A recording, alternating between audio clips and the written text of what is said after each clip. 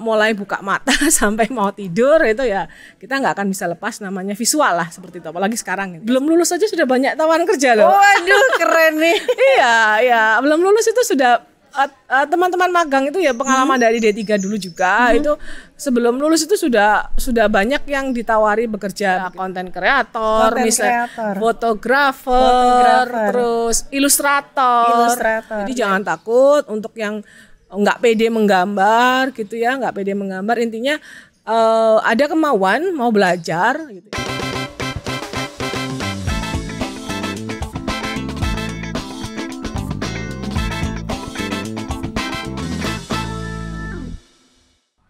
Welcome di channelnya Kece Media by Unesa. Sekarang Tia bersama dengan salah satu narasumber.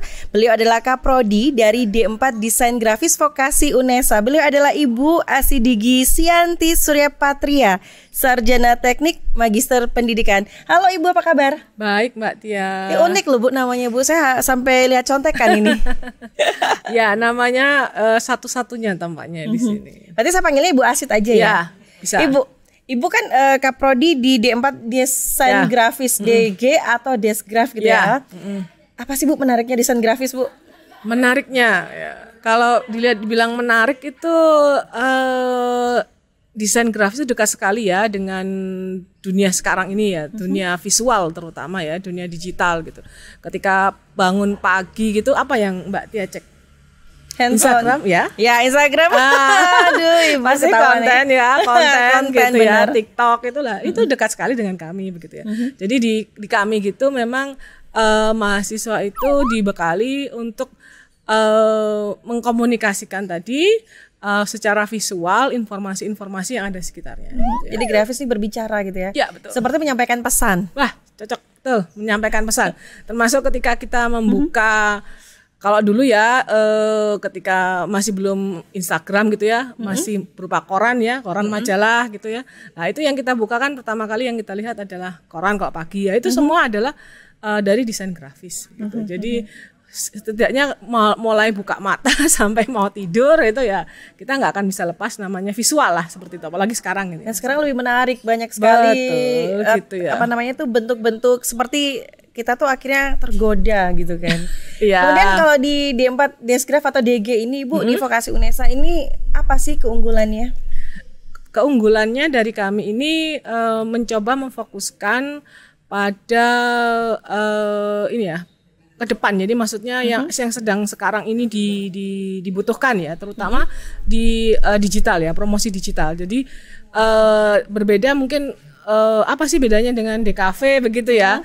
Ka- karena memang kita dari satu ilmu yang sama begitu ya satu ilmu yang sama. Tetapi kalau di DKV itu eh, karena di UNESA itu DKV itu S1 ya otomatis eh, ber- lebih pada penekanan pada eh, keilmuan ya teori-teori begitu ya. Meskipun eh, mereka juga memprakteknya Ada bersama prakteknya. tapi kalau di D, D4 itu komposisi prakteknya lebih besar Jadi kalau di prosentase begitu Bu? Ya, jadi eh, sekitar kalau misalnya satu SKS itu tiga SKS-nya itu praktek gitu.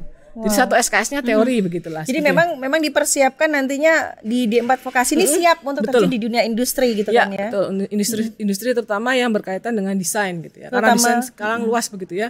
Jadi eh, apa pun yang kita lihat itu pasti ada desainnya di situ. Ini Mulai termasuk ya. ada tantangan tersendiri untuk mengembangkannya. Mm-mm. Terkait dengan itu Ibu, mata kuliah unggulan apa sih Bu yang ada di D4DG ini? Eh, mata mata kuliah unggulan itu Semuanya kami unggulan, Iya, jangan-jangan. Iya.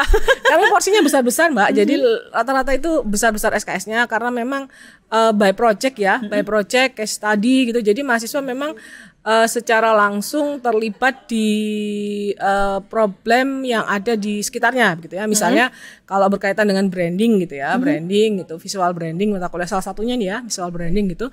Jadi mereka langsung misalnya mencari karena memang ini kan masih daring ya. Jadi mereka eh, di sekitarnya apa? Kira-kira UKM atau eh, apa ya lembaga institusi ya? ya nggak- kita nggak usah berbicara muluk-muluk yang eh, perusahaan besar ya. Cukup di sekitar kita tuh banyak sekali ya UKM ya. Mulai dari LBB gitu ya atau warung misalnya begitu warung dalam arti yang kafe begitu kan banyak lah. Itu eh, dari situ kita mereka di- dihadapkan bagaimana membuat eh, branding yang ada di sekitar gitu mereka itu. Jadi Oke. membranding yang ada begitu. Jadi ini yang dipelajari di situ. Mm-mm, Kemudian gitu. penerapan MBKM di D4 DG Vokasi Unesa bagaimana Bu di situasi seperti Oke, sekarang? ya kalau sekarang ini kan mahasiswa kami ada tiga tingkat ya. Jadi dari semester ada di di tiga angkatan ya.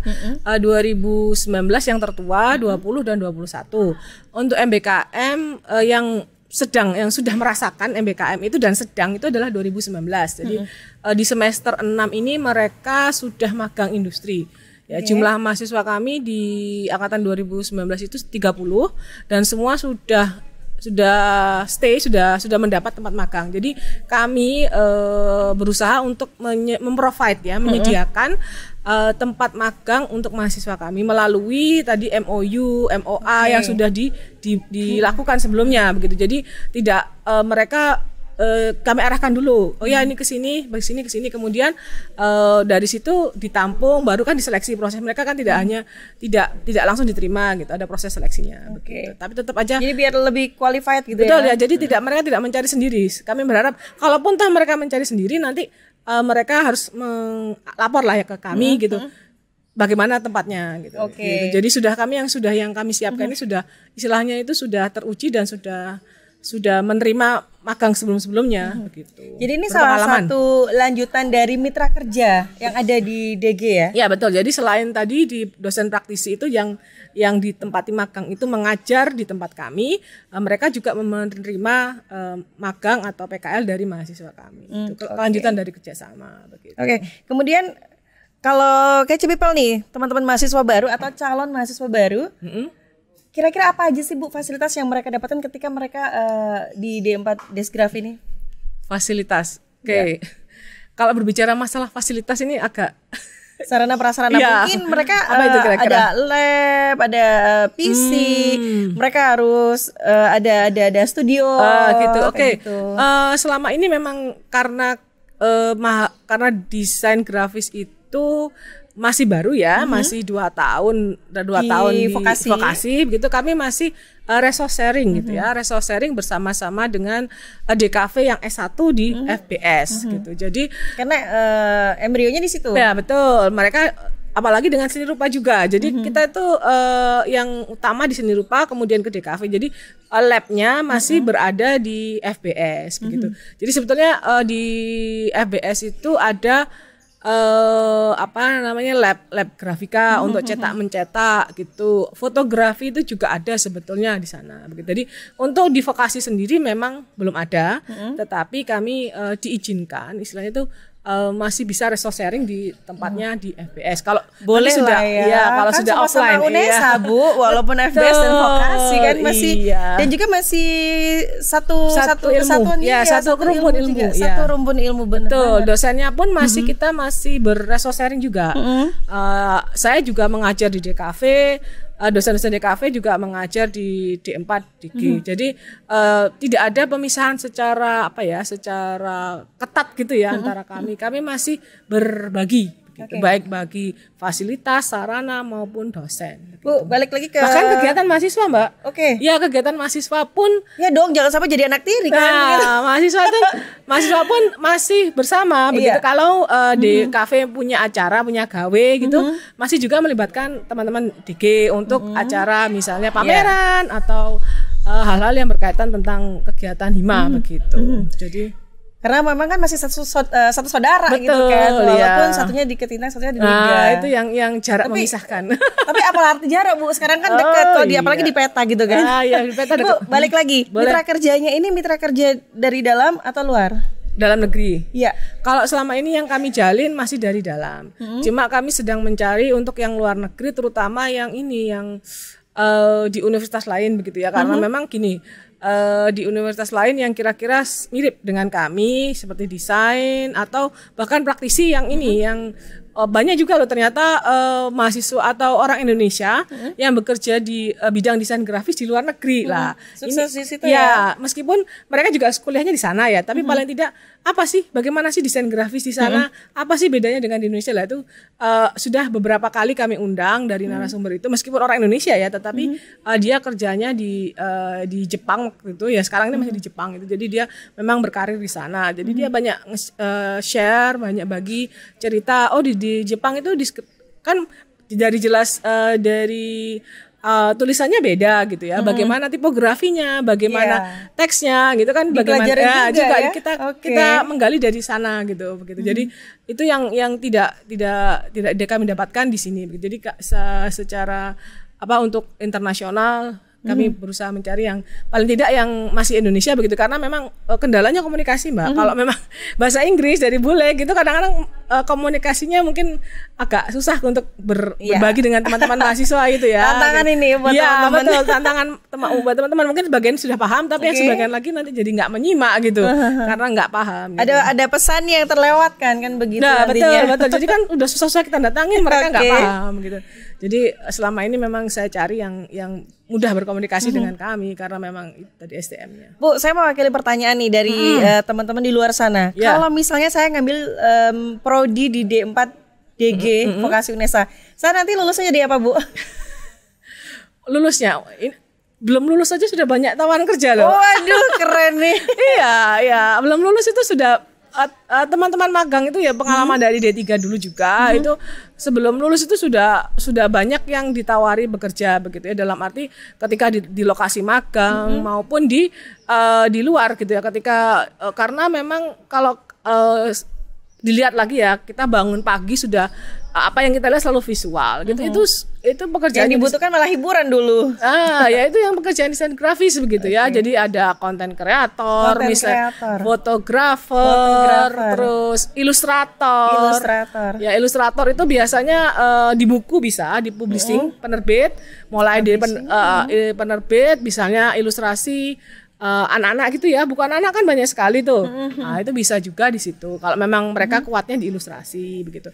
Kalau memang nggak kuat di ilustrasi bisa ke eh, branding tadi ke konsultan brand, konsultan logo, konsultan eh, marketing itu biasanya eh, arahnya eh, desain grafis juga Oke. gitu. Termasuk ini eh, prestasi ya, belum Ah, ah. bekerja udah banyak yang em, apa itu ngejob nih. Iya, betul. Buat mereka, berarti ini termasuk prestasi non akademik ya, atau prestasi akademiknya Oh juga? iya, ini kalau dibilang prestasi sih mm, bukan ya Mbak ya kalau kalau Apa bekerja berarti? ya itu pakai capaian apa Oh, ya? itu? capaian, Ya. Hmm. capaian nanti kalau ketika eh, lulus otomatis masa tunggunya jadi nol. Lulus kan langsung bekerja. Jadi Hmm, kan bukan masa tunggu yang nunggu satu bulan dua bulan enggak tetapi dia Dia- dia langsung siap ya? siap bekerja meskipun Oke. secara ini ya eh, apa namanya kalau dikatakan prestasi sih bukan ya tapi karena itu tadi masa tunggu dari Mm-hmm. pekerjaan gitu jadi kalau setiap lulus kan eh, mahasiswa itu kan ditanya tuh Mm-hmm. eh, kamu bekerja berapa bulan jadi setelah lulus berapa bulan bekerja lah Mm-hmm. rata-rata memang sebelum lulus sudah bekerja otomatis kan nggak ada masa tunggu Oke. gitu. Tapi mereka kan nggak cuma disuruh kuliah aja kan Bu? Maksudnya kalau biasanya kan ada lomba-lomba atau kompetisi oh desain iya gitu-gitu. banyak banget banyak banget terutama kan eh, di luar gitu mereka eh, biasanya kompetisi secara mandiri mbak Oh, gitu. ya mandiri dalam arti eh, ya kalau memang info dari kami akan kami share tapi kebanyakan mereka itu sudah bergerilya sendiri gitu karena dengan Gercep hadiahnya mereka ini iya. ya. Jadi mereka eh, bisa memprediksi, bisa tahu informasi ini, Iya. bisa ikut nih. Iya gitu betul, ya. karena sekarang kan juga digital ya, jadi gampang gitu. Jadi tinggal tinggal buat karya, kirim gitu ya Iya. seperti itu. Tapi itu kan ada prosesnya juga. Teknologi memudahkan semuanya. Betul, dulu kan harus datang misalnya eh, di tempat. Sekarang kan enggak, cukup dengan ngirim email begitu, mengumpulkan atau bahkan tag ke IG gitu ya. Iya. Kalau mau lomba kan tag IG gitu. Iya, Nah, itu kan mention, gampang. betul. mention gitu kan juga mudah sekali begitu. Bu, di kesempatan ini Bu, eh, apa yang ingin Ibu Asid sampaikan kepada teman-teman kepada Kece People terkait keberadaan D4 DG Vokasi Unesa? Sampaikan eh, apa ya kira-kira ya. Eh, intinya begini, kalau Boleh promosi Bu? eh, boleh promosi Ayo ya. sebanyak-banyaknya Eh. Ini boleh. Ya. Atau di sini jangan khawatir nanti teman-teman bisa kerja. Ah, itu kan bagian dari em, Oke. strategi. Nah, itu bagi dia. ya bagi adik-adik atau kece people gitu ya yang berminat di eh, desain ya bidang desain terutama desain grafis begitu ya bisa bergabung dengan kami gitu di desain D4 desain grafis eh, program vokasi eh, UNESA begitu ya di sini eh, tidak hanya menggambar ya mbak ya jadi kebanyakan eh, mindset eh, mungkin di luaran sana kalau berpikir kalau kalau nggak bisa nggambar itu nggak bisa Nggak masuk bisa desain ya. nah, bener. Padahal itu menggambar itu hanya bagian dari proses seleksi saja sebetulnya begitu ya. Jadi bagian dari proses seleksi karena eh, peminatnya banyak. kita kan nggak mungkin ngetes matematika kan hmm. ya ngetesnya Nggak paling relate juga. ya nggak relate gitu ngetesnya paling tidak kan dari gambar begitu itu sebetulnya jadi jangan takut kalau memang nggak bisa gambar se kayak lukis itu tidak tidak eh, tidak bukan tujuan kami begitu ya itu. ya bukan itu bukan tujuan kami tetapi lebih pada eh apa ya kreativitas begitu ya. Kreativitas motivasi mau belajar lah seperti itu di eh, di desain grafis itu pun. Jadi jangan takut untuk yang nggak pede menggambar gitu ya nggak pede menggambar. Intinya eh, ada kemauan mau belajar gitu ya. Karena saya rasa matema- eh, ba- menggambar itu tidak lebih atau tidak beda dengan matematika gitu. Fisika itu sama. Itu suatu eh, pelajaran atau suatu ilmu yang bisa dipelajari. Il- ilmu bisa lihat ilmu katon gitu ya kalau dalam bahasanya gitu. Jadi bisa dipelajari gitu. Apa pun bisa dipelajari begitupun juga menggambar. Bukan berarti tidak berbakat tidak bisa menggambar. Iya. gitu ya. Semangat masuk. Welcome. Baik, terima kasih Bu Asit. Ya. Dan Kece People itu tadi perbincangan kita di Bincang Unesa. Kita membahas seputar D4 Desain Grafis Vokasi Unesa. Sekali lagi terima kasih untuk Ibu Asidi Gisianti Surya Patria. Sarjana Teknik Magister Pendidikan yang sudah berkenan berbagi informasi buat Kece People. Jangan lupa yang belum subscribe untuk subscribe Kece Media by Unesa. Terima kasih, saya Tia pamit. ketika bangun pagi gitu apa yang Mbak Tia cek Handphone. Instagram ya Ya Instagram. Ah, Aduh, ibu pasti ketawa konten nih. ya konten, Konten, gitu ya benar. TikTok itulah itu dekat sekali dengan kami begitu ya Terima kasih Ibu. Sama-sama. Kece Radio